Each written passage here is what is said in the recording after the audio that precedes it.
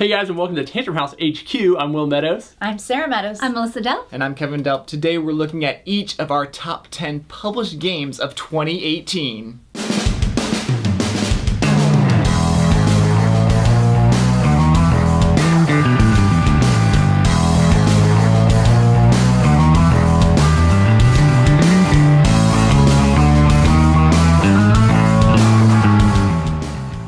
Table full of all kinds of great games. If we went through all of our top 10s, 40 games, I, hope you'd be willing to stay around long enough, but we're not gonna put you through that. We are gonna run through kind of our bottom five uh, pretty quickly, and then we'll spend a good chunk of our time on that top 25-ish, if you understand games. that, games that we've got together for you.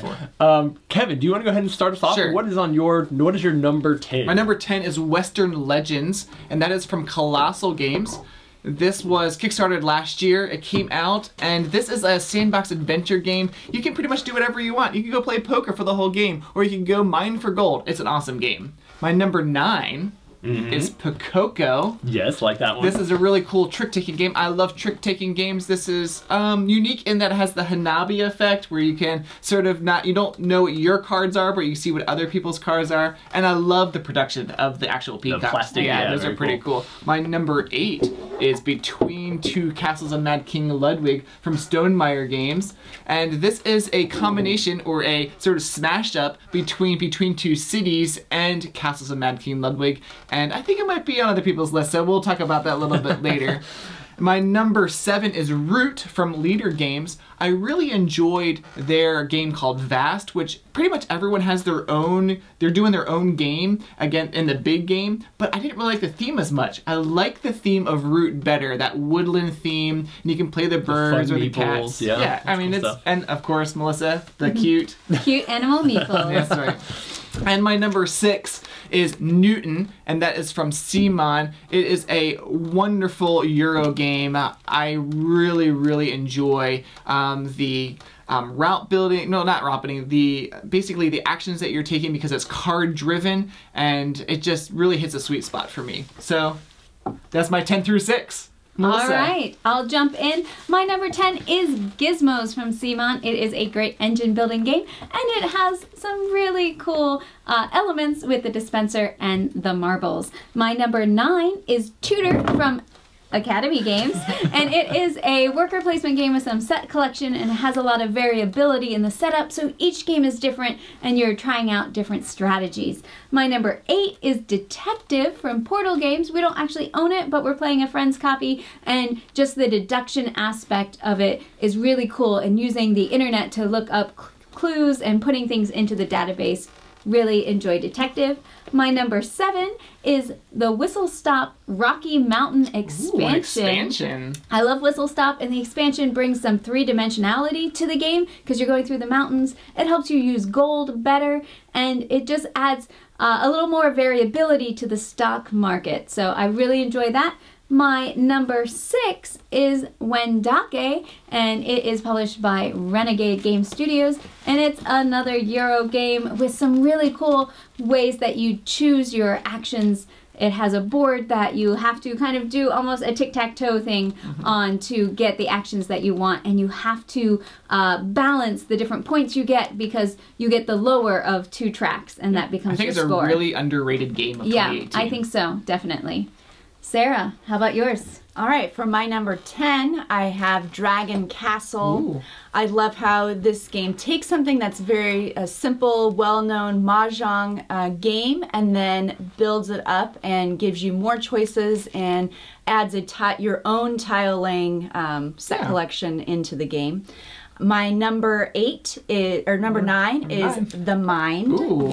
Uh, I love the social aspect of this game. I think it's key to play with people that you know. You have a lot more fun with it when you do that. Pandasaurus brought that over to the States. That's great. Yes, uh, that's from Pandasaurus. Uh, number eight for me is Railroad Ink.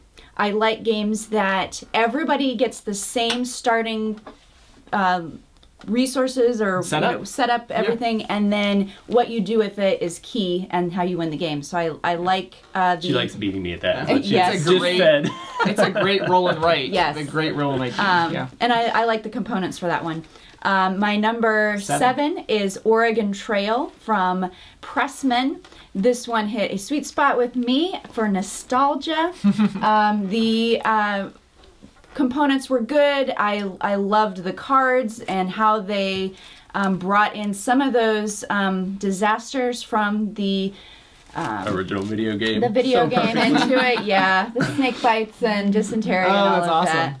And then my number six is actually between Oh. two castles of Mad King Ludwig. Ooh, Um, enjoyed my- playing cool. that one as well.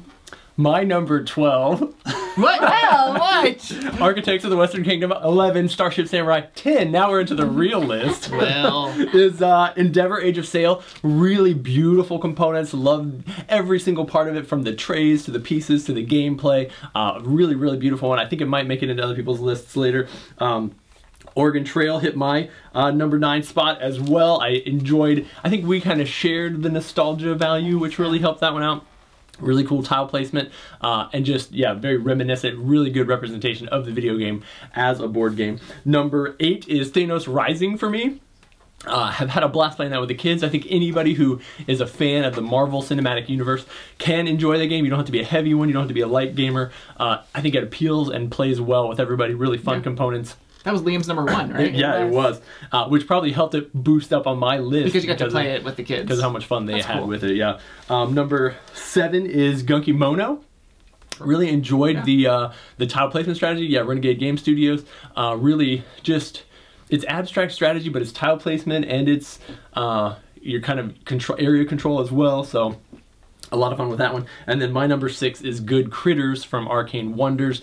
Have played that a ton this year. It's a really easy game to teach people how to play. It's a lot of fun. The you split, I choose kind of thing.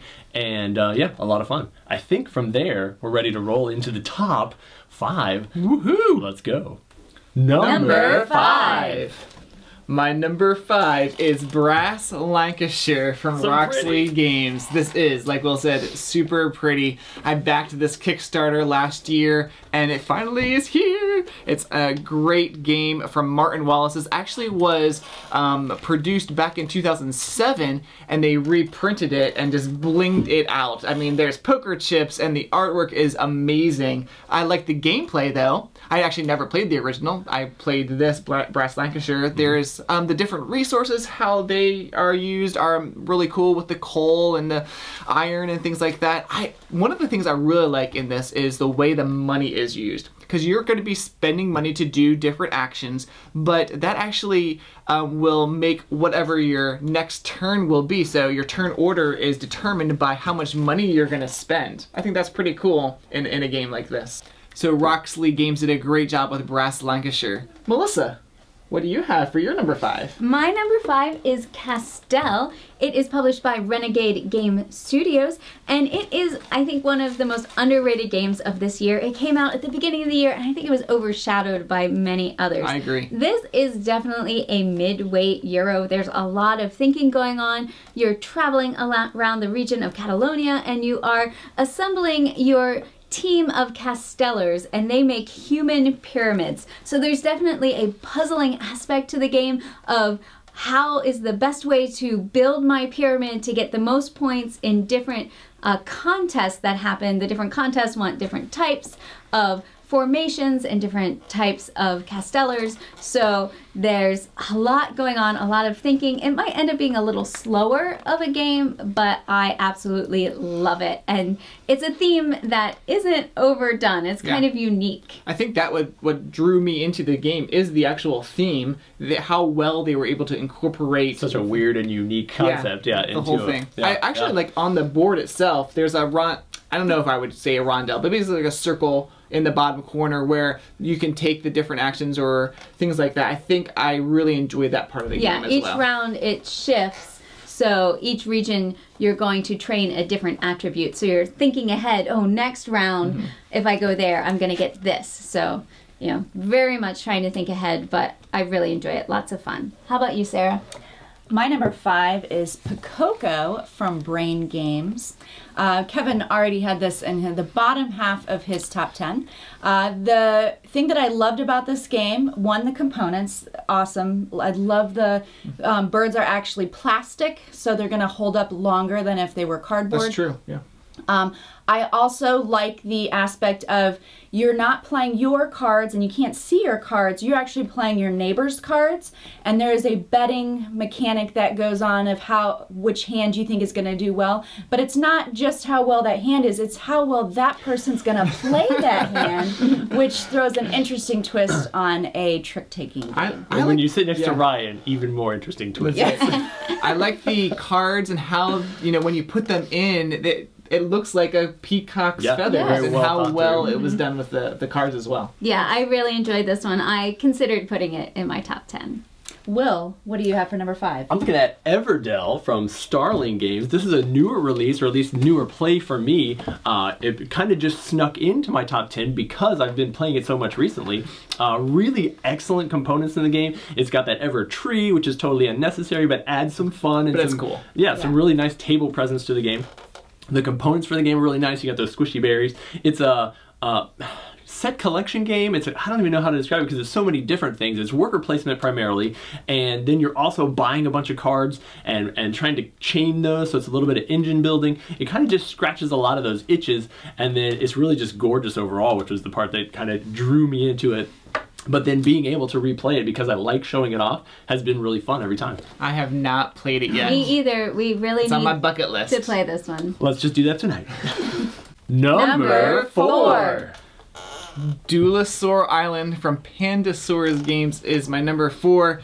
This is only for two players, and they did a great job. It's designed by Ian Moss, and they, they actually have a couple games in this line. They have Dinosaur Island, and that's more of a worker placement game. This is more of a drafting set collection type game, and they did a wonderful job on the tension, um, not only between the players, because when you're drafting, one person sets the, the dice and the cards, and the other, and you know you draft back and forth. But even your own player board, as you're creating dinosaurs, as you are the, the threat is increasing, you have to increase your security. Wonderful job in the tension, and I love that how tight of a game that is. Trying to collect DNA, trying to get money to build those your theme park. So who doesn't want to build a dinosaur theme park? right? So I do like the two-player part because you can kind of like it feel it does feel more intense when you know how many points that guy's getting each round, and he's like you're so close and within distance of Yeah. taking over. Yeah, there was fun. one one game I was I was the setter and I was and I put out like a card that gave the other person like a bunch of points if they saw it,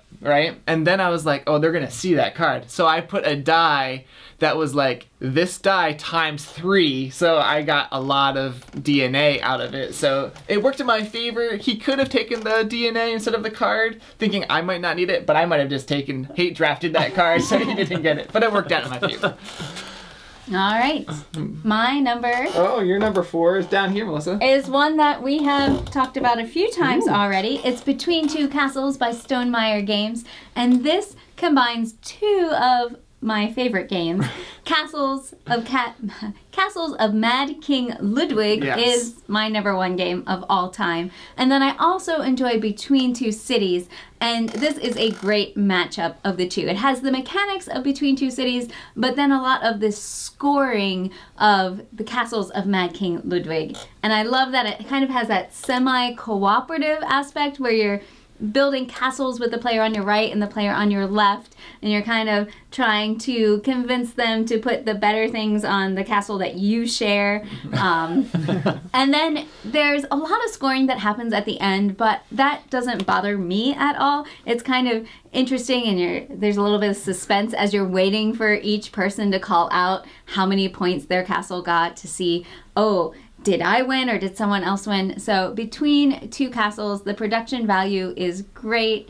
Each of the castles has fun little pictures in mm-hmm. them. There's like a room with cats and dogs. There's even a scythe There's room. a side room. yes. I think the another cool thing with the production value is the game trays. right. Because um, when Jamey Stegmaier of Stonemaier Games was designing this, how it's going to fit in the box, he worked with game trays to actually so every stack of tiles is nine that you need. So there's this whole tray of uh, spots where nine tiles perfectly fit in. Right. Basically, when you uh, put the game away, it is ready to play the next time because it's already in the stacks that you need. The thing that I'm most curious about now is that if this is your number four, Yes, I agree. what could you be above your two favorite games combined? I I don't even know. Blowing my mind just thinking about it. Okay, how about you, Sara? All right, my number four is Don't Mess with Cthulhu. uh, this is a great party game for four to eight players. It's from Indie Boards and Cards. Uh, we have probably played this game the most this year. I agree with that. Uh, we have played probably 50 games with our kids. Oh, yeah, our just our kids, yeah, right, just yeah. our kids. And then we've played it with a lot of game groups at cons. Uh, this is a great one late at night when Mm-hmm. everybody is tired. Uh, you can still have a very, very enjoyable time. Um, and it's one that non game or non social deduction gamers do well at. Yeah, Melissa? I will agree. I almost put this in my top 10 for the year, and I hate social deduction games. I hate them. But this one I actually enjoy because uh, there is some strategy to how you lie or don't lie, and it's not so much of trying to Keep that poker get face. everyone onto your cause. Usually you're just interacting with one person at a time. And most people don't know who each other are. Whereas, Right. like in Werewolf for others, you may know a little bit more information. So it's more of a deduction um, Mm-hmm. on figuring out okay who has the elder signs and who may have the Cthulhu. So Will, what's your number four? Number four is Pictomania. I even said the name right this time. uh, from CGE Games. This one kind of caught me by surprise because it is very much just like a Pictionary type of game where you're drawing a picture and other people have to guess it. But I felt like they really added some fun speed stuff to it. Uh, in the game, you have a specific image that you're trying to draw. You're trying to draw it as fast as you can because then you have to guess everybody else's, and the order that you guess them in determines the number of points that you get. The crazy thing about the game is that some of the things you're drawing are like, especially once you get to the higher levels, are just like conceptual Yes. words. They're not objects at all. And so the the way that you're drawing them is not necessarily like trying to describe the whole thing. You're just trying to be able to, from the list of options, get enough information into it that people can look at the list and determine what yours is, you know, through deduction and or reduction, or I don't know what the word is, but narrowing down all the options that it's not. And that actually gives it a layer of strategy that goes beyond just drawing something fast, like thinking through what to draw. I enjoy real time games. I do very well at this game because I do well at drawing and at, at having that conceived idea and being able to get it on paper, um, which makes for a really fun experience. I've, I've had fun playing this every single time. I've had a blast that I've played it.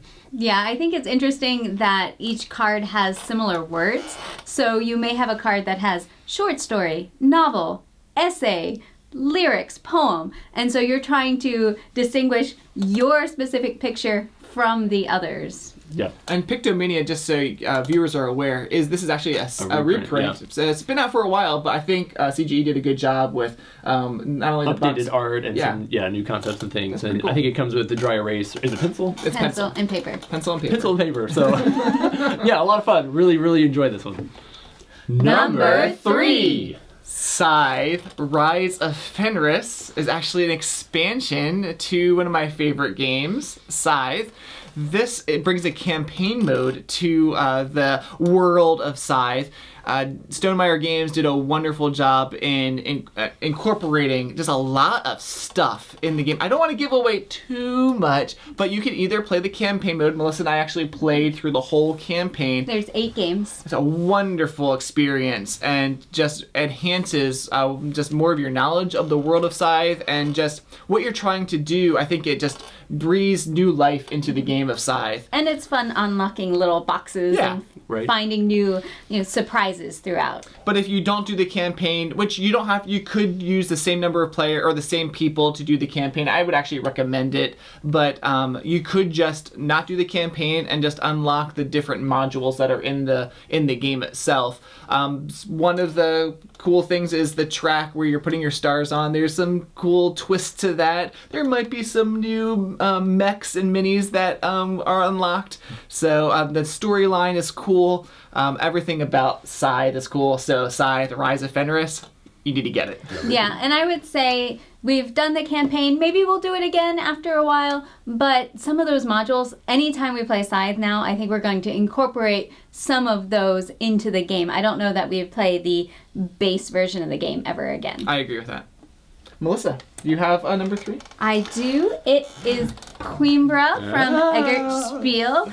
This is a game that I have been wanting and wanting to play all year. I finally got it at PAX Unplugged and really enjoyed it. It's sort of not quite a dice worker placement, maybe dice drafting. And the interesting thing is that you use the dice two different ways. In one area, the pip value is what you're looking at, and then in another part of the game, it's the color. Wow. So that's something that takes a little while to wrap your mind around which aspect of the die is important in this phase of the game. But there's a lot of variability in it with the different goals and how you can earn points. I focused a lot on purple, which is moving around the board, and I was getting lots of bonuses and unlocking things. There's a set collection aspect to the cards. So there's a lot to think about, but uh, I just love the choices in it, and it's it's really pretty. It has some great pops of color in it, and I know Will, you really like it too. I would say more things about it, except for I might be talking about it again. Oh. in just a second. Might be making another appearance. How about you, Sara? My number three is Dice Hospital from Alley Cat Games. Dice worker placement is one of my favorite mechanics, game. and I was glad to see another new one out this year with that mechanic uh, because I don't think there's a ton of. So publishers, take note of that. Make some more dice worker placement games. There's a few, but that, you know. Yeah, uh, I enjoyed the hospital theme. I think it uh, reminded me of uh, some video games I may have played growing up that you are trying to take care of all the patients and there's so many coming in, you just can't handle it all. Um, I liked that tension in the game of uh, making decisions as to uh, which patients to treat and which ones to maybe just let them hold on one more round before I treat them the next round. Um, it's got some interesting ways to um, get either some high value dice that are patients who are a little more healthy that can make it out of your hospital quicker. Alive. Yeah, alive, yes. And then We can save the ones that need to be saved. Yes. so this was one that I enjoyed this year. One of the things I enjoyed about both of these games is the little dice holders. I think that's a really cool Yeah. thing that we're seeing this year. This has the ambulances that you put the dice in. That's got the castle turret things. Um, that component is just a really fun piece that we need to see more of that as well, publishers. All right, Will. Uh, so my number three is War Chest from AEG. Uh, really enjoyed uh, the component quality on this. The, the the poker chips are really really heavy and nice. The artwork is just really pristine across the whole game. I love the consistency of it. The color scheme is great. The magnetic box, every part of the component part of it is great. And then I really enjoy a good abstract strategy game, which this scratches that itch. Uh, and I love the fact that it's either two or four players, so you can play it as a team, which I think adds a whole nother layer of interest to it trying to you know coordinate with the, the abilities that your partner has as well as with you. Uh, the board layout is interesting and creates i mean it's just that hexagonal honeycomb uh, but it creates the way that you collect points by getting those uh, marker tokens on the board is an interesting strategy to the game and the fact that that can turn over back and forth really kind of creates a fun experience uh, and i've had a lot of fun playing it with uh, like really thinky players as well as just my kids. They've enjoyed it and been able to pick it up. And then it is really heavy strategy but because you're pulling those things out of that bag and you get a random draw every time. Uh, there's a lot of variability and randomness to it as well, and I like the balance that this game does with those two pieces, which I don't see in a lot of other games the heavy strategic and the random chance. Yeah, I think if you like chess, this might be something that you want to try out. Uh, it's not quite the same, but it has that same um, turn by turn movement of trying to eliminate the other player. So I have not played War Chest.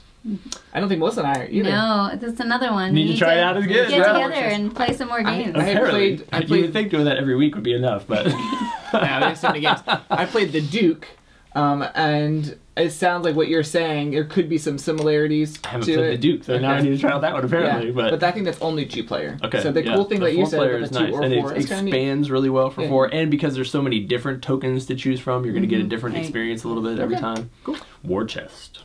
Number two. Well, I have Chronicles of Crime here Yeah? from Lucky Duck Games. We actually uh, saw the prototype of this a while back, and we're super excited. It's got the mystery puzzle trying to solve a mystery, but it also brings in some electronics like an app plus a VR experience. It just does all of that so well, and it combines all those different elements so well to make a wonderful, wonderful board game. And even though you're gonna figure out what the mystery is, there's a lot of different scenarios in the base game. There's like five different um, scenarios that you can play. Plus, there's so many more that are coming out, and I've heard some others that are coming out in the future. So they've got some great things that are coming for Chronicles of Crime. But even the base game itself is an amazing experience. I can't spoil too much, but like the tutorial, you're like, I know some of you have played this. You're Yeah. like looking in the VR, and you're like, what is that? so the way they integrate it and through the storyline, um, it works seamlessly. Yep, very much so. Melissa, what's your number three? Well, Kevin, Number number, two. two. two, number two. Kevin and I are very in sync on this one because I also chose Chronicles of Crime. And uh, I just love the mystery deduction kind of story type games. Love Sherlock Holmes Consulting Detective, Chronicles of Crime, Detective from Portal was in my lower half of the top 10. And what I really like about this one is the way that the app integrates. You are scanning the people, the suspects that you're questioning, and then you can scan a card to ask them basically about a specific clue or another person. So it feels sort of interactive. It's not just, oh, I read a little section out of a book.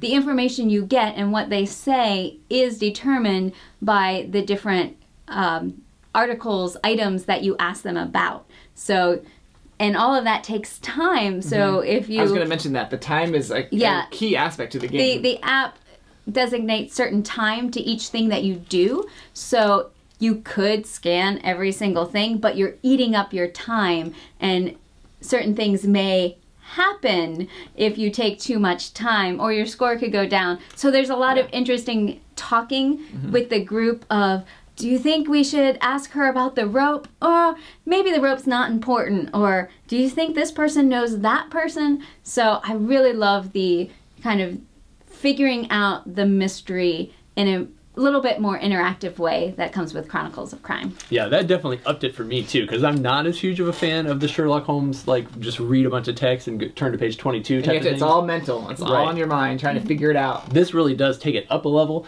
It probably could have been at the top of my top 10 because I really did enjoy the experience that it mm-hmm. creates, but it's just not my type of game normally. Okay. But this could pull me into that type of game very well. All right, Sara. My number two is Endeavor Age of Sail. This is from Burnt Island Games and Grand Gamers Guild. Uh, it is a updated edition of the original Endeavor game. Uh, what I love about this one is the artwork is absolutely fantastic. The, it comes with all the game trays. So before there was a lot of sorting of components and setting up tiles that you may not be able to see on the other side of the um, table. This one has a game tray with all the buildings. The first thing you do is build a building on the round, and you just have a tray that you pass, and Oh, you can cool. see exactly what you need to build. Uh, the game is really easy to learn. Everything um, just makes sense as to what you need to do. There are four tracks to um, keep track of and gain tokens and points throughout the game.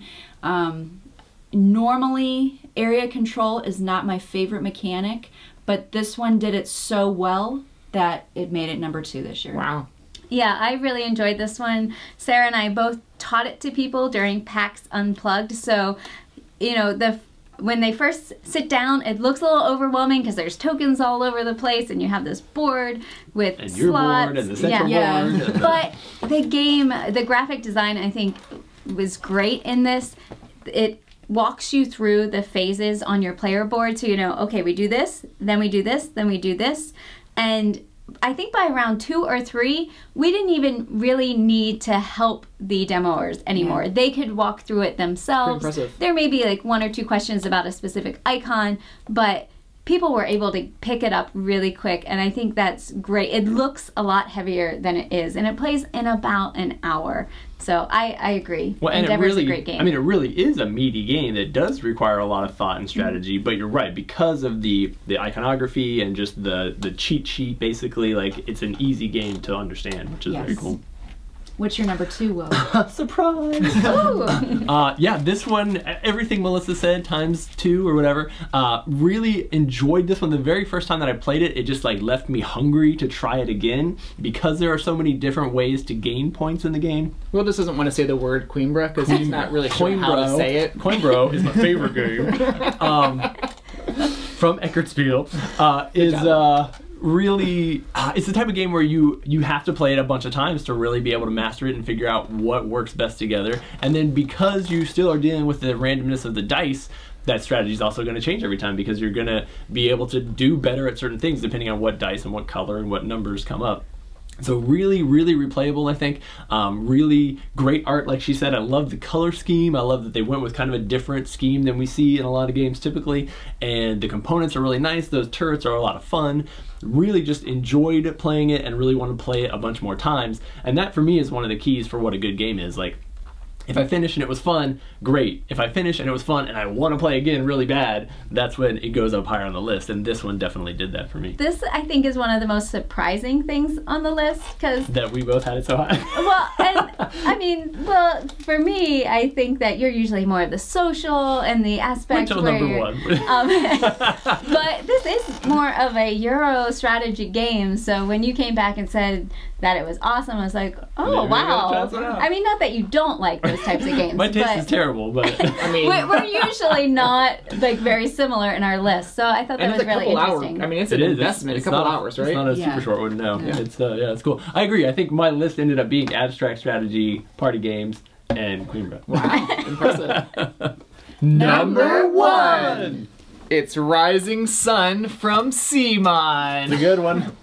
this came out very, very early in 2018, and this is amazing. I backed this and got pretty much everything uh, that is here. You can see the Did a good job miniatures. painting those, Thank uh, you. yeah. Yeah, I painted the miniatures. Enjoyed the process of just um, enjoying the creative process of painting them. They in the game how these monsters are working with your clans and how each clan has its own specific power that it can activate and use throughout the game is cool. So the variable player powers are awesome about the game. I like the movement on the board. The really cool thing with the mandate tiles, your actions that you're taking is a draft. So I like drafting type games as you saw with Duelosaur Island. So love drafting in games and um, those actions are fun taking them with maybe teaming up with another and allying with another clan. And then the actual war how you're actually doing that isn't just like rolling dice or be like my guy beats your guy sort of thing. There's this sort of there's a player screen and you are sort of spending money on different parts of the war. Should i try and you know really beat out all the other players by doing um, by spending the money on there or should i just kill all my guys and get points and seppuku you know sort of this honorable death thing i love how that works or take someone hostage all how that works really hits all the really cool sweet spots for me in a board game. I was actually kind of concerned. I'm not really, really big into war games. I think Melissa would probably say the same thing. Right. Yeah, I wasn't sure if I was going to enjoy Rising Sun, and I am a little weak on the negotiation alliance aspect of the game, but I do really enjoy that war board that you have and how you have different options of how you want to score points during the war phase. And it's a little bit of trying to read your opponents.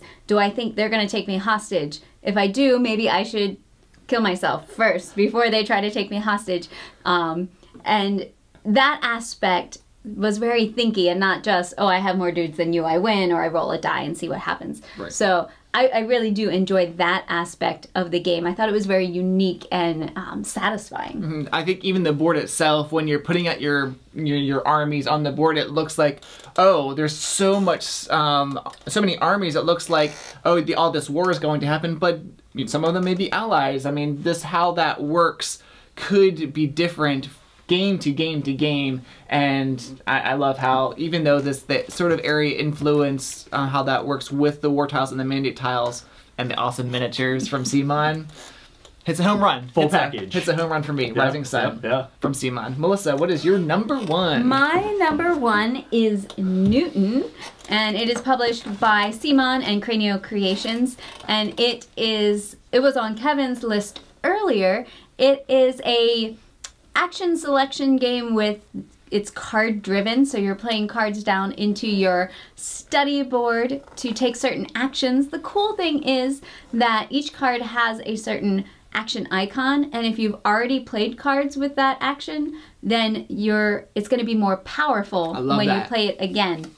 So you're going to be able to move farther or buy more or um, just take more of an action. There's also a set collection aspect with trying to get to certain places so then you can study and put bookshelves on your board. There's so many ways to get points. There's extra powerful cards that you can play if you get to certain areas on the board. Um, it's, it's really thinky, but it makes sense. And I really like the theme of the science. You have like Isaac Newton, and you're making discoveries and traveling around the world and trying to uh, unlock different uh, technologies. So, Newton, I I like the um that it, it's not too mean. It's Right. not too mean. There's two things in the game that um, could be you know described as mean. One is you know there are cards. It's a card-driven game, so someone may take the card that you want, but that's more of like they not they may may or may not know that. Right. right, it's, there's not really a whole lot of hate drafting or take that in the game. It's more of your strategies are sort of the similar as someone else You may be going after the same things. Yep. And there's also Yeah, the second thing. Competing. certain tokens that if you get there first, you get that token and it's a bonus.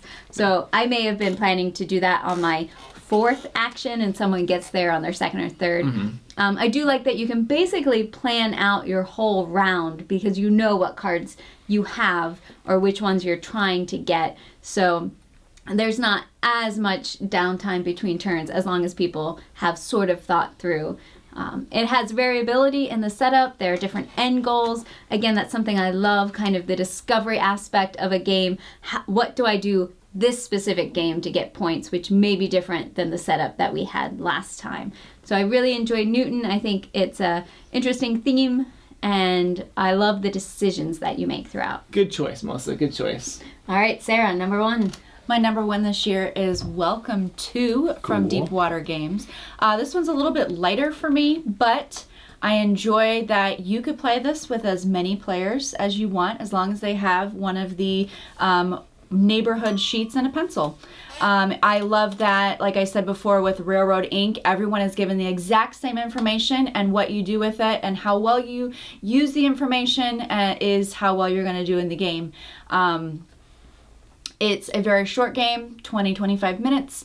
Uh, everyone is using the cards that are shown for the round. There's three cards flipped, and then there's also a corresponding uh, action that kind of goes with it where you're either going to build a fence or you're going to. Um, uh, have a, add a park to your neighborhood, and all of those things. Basically, everything gives you points towards the end of the game. That's cool. And so um, I love the puzzly thinkiness to this one. Um, it is very simple to teach and learn, and yet everybody comes up with a totally different answer at the end, even though with the same information. Yeah, I think the puzzle part is definitely what appeals to you, Yes. like being able to just really optimize one of which one of these three choices is the absolute best, and how can I get the most points out of that for this turn.